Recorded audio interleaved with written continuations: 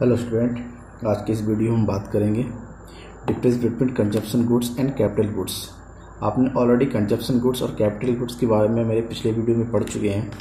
आज मैं इसके दोनों के बीच में डिफरेंसेस को बताने वाला हूँ कि दोनों में कौन कौन सी बेसिक डिफरेंसेस है कंजप्शन गुड्स और कैपिटल गुड्स में।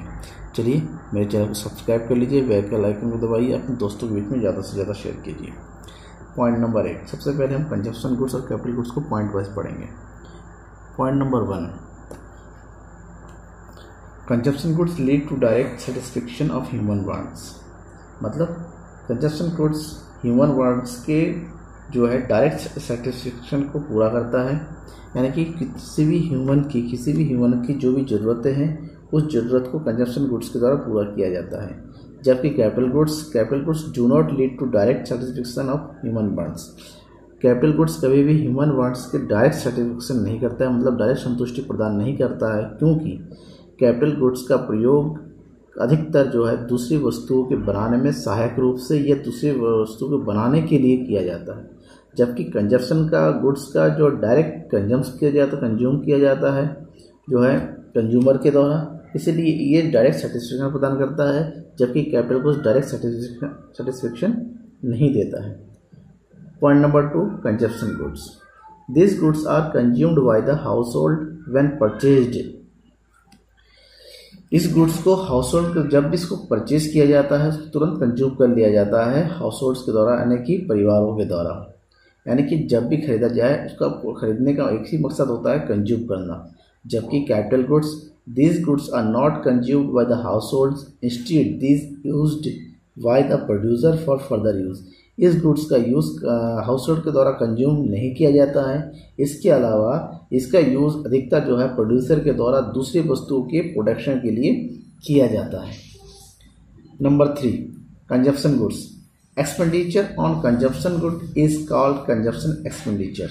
Consumption goods पर किया गया एक्सपेंडिचर को कंजप्शन एक्सपेंडिचर किया जाता है, जबकि expenditure on capital goods is called investment expenditure. जबकि कैपिटल गुड्स पर किया गया एक्सपेंडिचर जो है इन्वेस्टमेंट एक्सपेंडिचर कहा जाता है ना कि निवेश कहा जाता है। यानी कि कैपिटल वस्तुओं पर किया गया जो खर्चा होता है, उसे हम इन्वेस्टमेंट एक्सपेंडिचर कहेंगे। क्योंकि कैपिटल लंबे समय तक रहता है, उसका यूज़ लंबे अवधि तक करते हैं, इसलिए इसको इन्वेस्टमेंट एक्सपेंडिचर नाम दिया गया है। Point number four higher production of consumption goods leads to higher level of welfare of the people. It raises their quality of life. ये consumption goods का point है।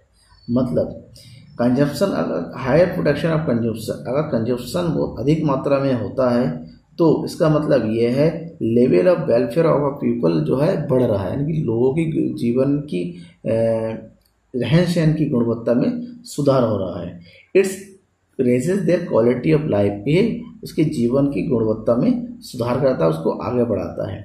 जबकि कैपिटल गुड्स क्या बोलता है? Higher production of capital goods leads to higher production capacity in the economy it is the backbone of the GDP growth capital goods मतलब होता है, अगर कैपिटल कैपिटल प्रोडक्शन गुड्स का प्रोडक्शन बहुत ज़्यादा हो रहा है, इसका मतलब ये है इकोनॉमी में जो है प्रोडक्शन की जो कैपेसिटी है, उसमें वृद्धि हो रही है। क्योंकि कैपिटल में वृद्धि होने का मतलब ये होता है इकोनॉमी की प्रोडक्शन कैपेसिटी में वृद्धि होना और किसी भी देश के कैपिटल गुड्स में कैपिटल गुड्स जो है, उसकी जीडीपी ग्रोथ का जो है बैकबोन माना जाता है। यानी कि कैपिटल जितना ज़्यादा से ज़्यादा होगा, उस देश की इकोनॉमी एंड जीडीपी ग्रोथ उतनी ही ज़्यादा अच्छी मानी जाती है। ये रहे आपके डिप्रेशन कंजप्शन गुड्स के और कैपिटल गुड्स के जो एग्ज़ाम के लहजे से बहुत ज़्यादा इंपॉर्टेंट है। Thank you